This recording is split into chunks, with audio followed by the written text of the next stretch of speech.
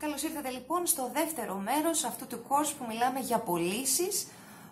Σε αυτό το μέρος θα μιλήσουμε για το πώς θα αλλάξουν οι πωλήσεις και οι τακτικές που χρησιμοποιούμε μετά από την πανδημία του κοροναϊού.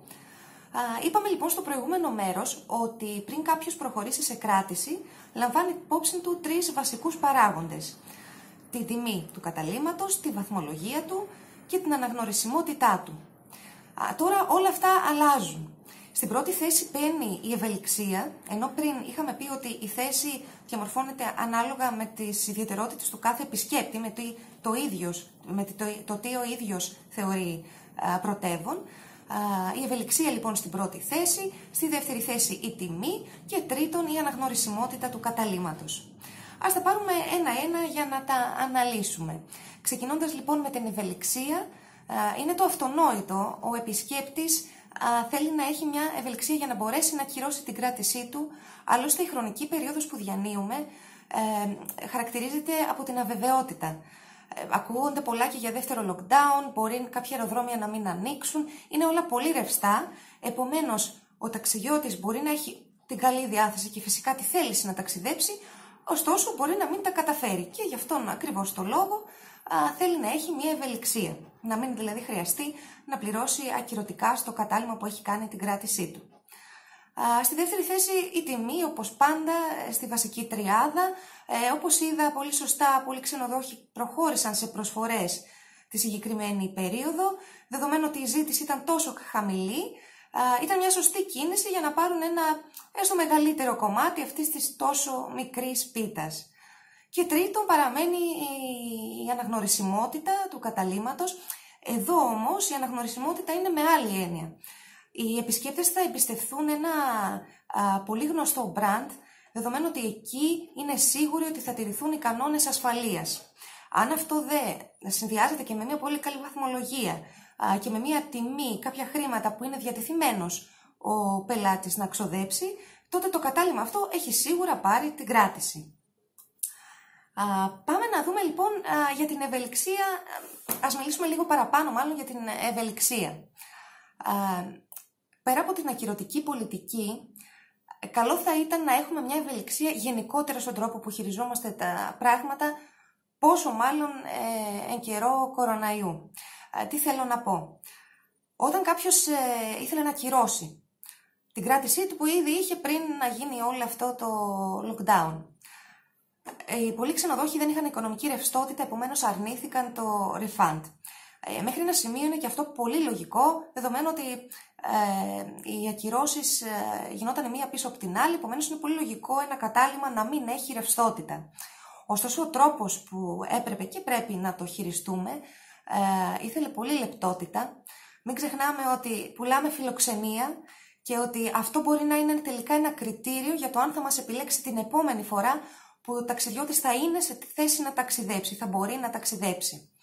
Ε, άρα λοιπόν όλο αυτό ήθελε πολύ λεπτούς χειρισμούς, πάντα με ευγένεια και χωρίς να είμαστε απόλυτοι ε, για τίποτα. Ακόμα και αν το κατάλημα δεν έχει ρευστότητα, μπορούσε να του πει, ε, πέρα από το voucher που βγήκε πολύ βέβαια αργότερα, το οποίο θα συζητήσουμε και αργότερα, αν, είναι, αν τελικά ήταν θετικό ή αρνητικό, μπορούσε να του πει ότι ε, ωραία, σε, μέχρι και δύο μήνες μετά θα έχετε λάβει τα χρήματά σας στο λογαριασμό σας. Ε, επομένως, θα μπορούσαμε να του δώσουμε κάποιες λύσεις και να επιλέξει ο επισκέπτης τι τον εξυπηρετεί περισσότερο.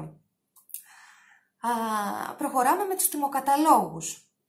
Ε, πολύ σωστά βγάλαμε τους non-refundable τιμοκαταλόγους για την περίοδο αυτή που διανύαμε. Πολύ σωστό, δεδομένου ότι όπως είπαμε πριν η ευελιξία είναι νούμερο ένα.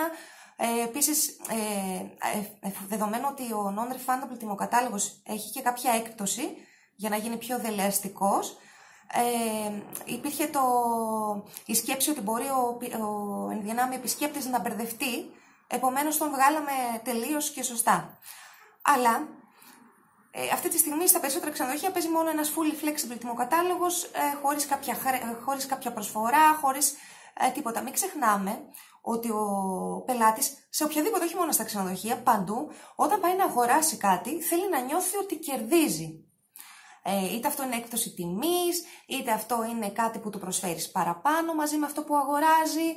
Ε, θέλει πάντως να έχει το αίσθημα ότι ο ίδιος είναι περισσότερο κερδισμένος από σένα που είσαι ο καταστηματάρχης ή στην προκειμένη περίπτωση ο ξενοδόχος.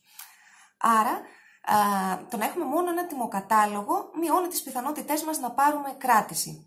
Καλό είναι να δημιουργήσουμε και άλλους τιμοκαταλόγους, δεν εννοώ πάλι με αυστηρή πολιτική, μπορούμε να κάνουμε έναν, για παράδειγμα, semi-flex ε, τιμοκατάλογο, ο οποίος να έχει περισσότερες μέρες ε, ακυρωτικής πολιτικής, να δίνει περισσότερες ε, μέρες πριν ότι μπορεί να ακυρώσει, σε αντίθεση με το fully flex ε, τιμοκατάλογο και με μία λίγο καλύτερη τιμή. Για να πάλι αυτό που λέγαμε, για το αίσθημα ότι ο επισκέπτης κερδίζει.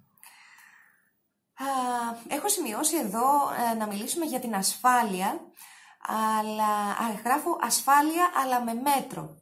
Τι εννοώ; Φυσικά το κάθε κατάλημα θα πρέπει να τηρεί όλους τους κανόνες ασφαλείας. Ε, επίσης αυτό είναι πολύ καλό να αναγράφεται σε κάποιο σημείο στο site του καταλήμματος είτε στο booking engine του. Αλλά με μέτρο. Φυσικά θα αναγράφεται ε, κάπου που να είναι διάκριτο, αλλά όχι όλο το site να είναι με τη φιλοσοφία της ασφάλειας. Ο άλλος θέλει να ξεφύγει, ο επισκέπτης θέλει να ξεφύγει από όλο αυτό που έζησε, επομένως θέλει να ξέρει, να έχει την πληροφορία ότι ναι, εκεί που πάω προέχει η ασφάλεια μεν, αλλά θέλω ωστόσο και να ονειρευτώ, θέλω να ταξιδέψω, άρα ας μην του το στερήσουμε αυτό ναι μεν ασφάλεια, αλλά και το όνειρο να υπάρχει εκεί για να κάνουμε τον άλλον να ονειρευτεί και να θέλει να κλείσει και να έρθει στο ξενοδοχείο μας. Είδα μια πολύ ωραία έρευνα για τις top εθνικότητες που κάναν κρατήσεις ε, μέσα στην πανδημία. Αυτές λοιπόν ήταν η Ιταλία, η Ισπανία και η Γαλλία. Όταν είδα την Ιταλία, για να είμαι ειλικρινής, το ξανακοίταξα γιατί δεν ήμουν σίγουρη ότι είδα σωστά. Ε, γιατί με την πρώτη λες αποκλείεται. Ε, οι άνθρωποι εκεί ε, είχαν τόσες, τόσο πολλά κρούσματα, τόσους πολλούς νεκρούς, ε, που δεν νομίζω ότι αυτό που σκέφτονται είναι να κάνουν κρατήσεις. Κι όμως με μια δεύτερη σκέψη, ε, καταλαβαίνεις ότι αν μη τι άλλο αυτή είναι η εθνικότητα που θα θέλει να ξεφύγει από όλο αυτό και να κάνει ένα διάλειμμα από όλο αυτό το άσχημο και, την, και τον βομβαρδισμό πληροφοριών, άσχημων πληροφοριών που εξέλαβε αυτόν το χειμώνα. Ε, άρα λοιπόν ε, το εθνικότητες αυτή τη στιγμή που μιλάμε τουλάχιστον Ιταλία, ε, Γαλλία και Ισπανία. Ε, έχοντας τελειώσει πια, έχοντας περάσει ο Μάιος, είδαμε ότι τις αρχές, τις δύο πρώτες εβδομάδες είδαμε ότι δεν είχαμε θετικό πρόσημο, ωστόσο σταματήσαμε να έχουμε ακυρώσεις. Και τις δύο επόμενες εβδομάδες είδαμε ότι γίνονται κάποιες κρατήσεις. Φυσικά ο ρυθμός δεν ήταν ο ίδιος με τον αντίστοιχο, δεν είχαμε την ε, ε, πανδημία, ωστόσο αυτό είναι ένα καλό σημάδι ότι κάτι κινείται φημολογείται ότι φέτος θα είναι η χρονιά για τις οικογενειακές διακοπές. και αυτό επίσης λογικό.